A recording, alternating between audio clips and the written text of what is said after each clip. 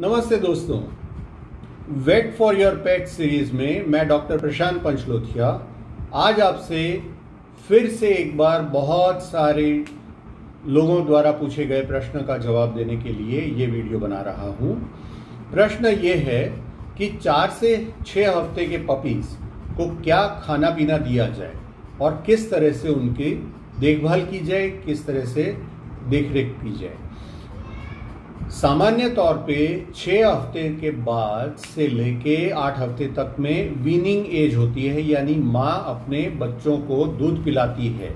लेकिन बेच देने के लिए या कभी कभी माँ को कोई प्रॉब्लम हुई हो, उसके कारण अगर चार से छः वीक के बीच में भी अगर माँ का दूध नहीं मिल रहा, उस किस्से में क्या किया जाए, क्या दिया जाए? तो उसके लिए सबसे फ़र्स्ट फॉरमोस्ट एंड इंपॉर्टेंट हो जाता है कि उसको कौन सा दूध दे सकते हैं। तो एक स्पेशल फॉर्मूला दूसरे वीडियोस में मैंने बताई हुई है। उस तरह से भी दूध बना सकते हैं या फिर आप बाहर से लैक्टोज या लैक्टोजिन करके जो दूध आता है, वो भी ले आ सकते हैं। गर्म पानी में लैक्टोजन या लैक्टोज को मिला दिया जा सकता है। और अगर आप अपने घर में ही दूध बनाना चाहें तो एक कप गाय के दूध में दो अंडों की जर्दी, एक चम्मच तेल और एक एक ड्रॉप मल्टीविटामिन और कैल्शियम सिरप। उसको डाल के आप दूध बना सकते हैं, जिसका तापमान तकरीबन 37 डिग्री सेंटीग्रेड या 98 से 100 डिग्री फेरेनिट होना चाहिए। ये दूध आप उसको चार से पाँच बार दिन में दे सकते हैं। अगर वो जितना ज़्यादा पी सके और चाहे तो उतना दे सकते हैं। अलावा इसके अगर वो दूध कम दिया जाए तो कोई दिक्कत नहीं है। साथ में सेरेलेक शुरू कर सकते हैं।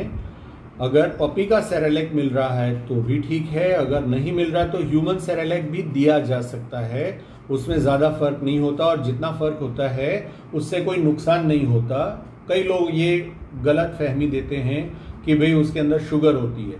लेकिन शुगर सिर्फ़ कार्बोहाइड्रेट बढ़ाती है, जिससे कोई नुकसान नहीं होता। जब ज़्यादा उम्र हो जाती है, तब हम खाने पीने में शुगर का इस्तेमाल नहीं करते हैं। लेकिन इतनी छोटी सी एज में तो ग्रोथ के लिए कार्बोहाइड्रेट की बार बार ज़रूरत पड़ती है। सेरेलेक आप चार बार दिन में दे सकते हैं। जो साइज़ है, उसके हिसाब से छोटी ब्रीड से लेके बड़ी ब्रीड और बढ़ती उम्र होने के कारण जैसे जैसे वो बढ़ता जाएगा तो उसका सेरेलेक का कंजम्पशन भी आपको बढ़ाते जाना है। दो चम्मच, तीन चम्मच या चार चम्मच जो सेरेलेक के अंदर स्कूप आते हैं, उनमें से। ये आप दिन में चार बार दे सकते हैं। गर्म करके ठंडे किए हुए पानी में गुनगुना सा पानी जो अपने 37 डिग्री सेंटीग्रेड अपने शरीर के तापमान जितना होता है, उतने पे आप सेरेलेक तैयार कर देंगे और इसको देंगे। अगर आपको कोई और खाना देना है तो भी ताज़ा ही खाना देना है और मॉइस्ट करके दाना है, कभी भी सूखा खाना डॉग को दिया जाना नहीं चाहिए।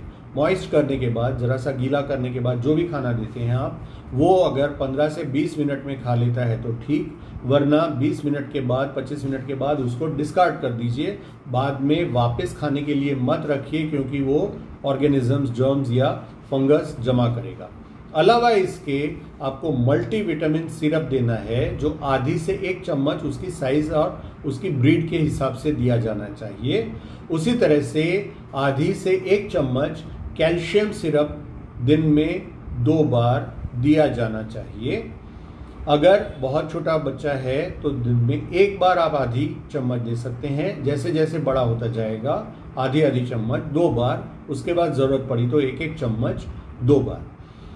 अलावा इसके, उसको प्रोटीन की जो रिक्वायरमेंट होती है तो एक किलो पे दो ग्राम प्रोटीन हर रोज़ डॉग की रिक्वायरमेंट पपी की रिक्वायरमेंट रहती है। उसके लिए आप उसके वज़न के हिसाब से प्रोटीन रिक्वायरमेंट दिन की निश्चित करके आधे से लेके एक अंडे तक दिन में बॉइल्ड एग दे सकते हैं। अगर बहुत छोटा बच्चा हुआ तो वन फोर्थ बॉइल्ड एग देंगे, नहीं तो फिर उसको हाफ़ बॉइल्ड एग अगर ज़रूरत पड़ी तो हाफ़ बॉइल्ड एग दो बार दे सकते हैं।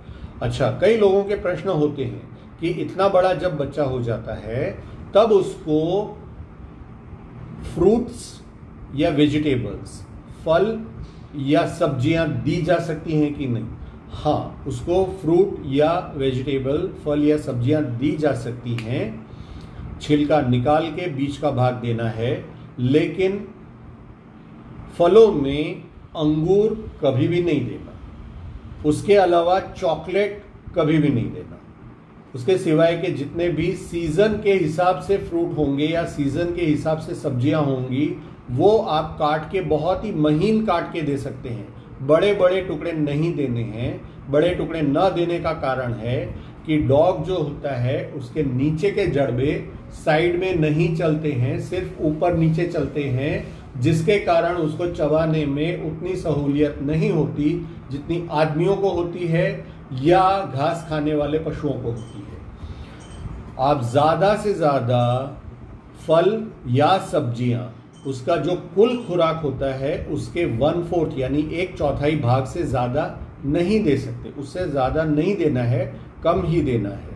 अगर आप मांसाहारी खुराक दे रहे हैं तो इस स्टेज में आप उसको चिकन का सूप यानी उसका जो पानी है, वो दे सकते हैं और थोड़े बहुत टुकड़े दे सकते हैं। जैसे जैसे उम्र बढ़ेगी छः हफ़्ते से ज़्यादा, तब आप उसको बड़े टुकड़े भी मीट के या चिकन के दे सकते हैं। अभी सिर्फ़ बॉयल एग दिया जा सकता है नॉन वेज में।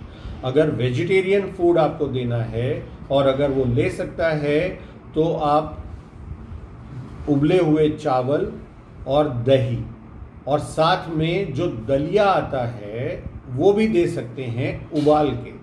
अंदर नमक नहीं डालना, चीनी नहीं डालना, तेल या घी नहीं डालना।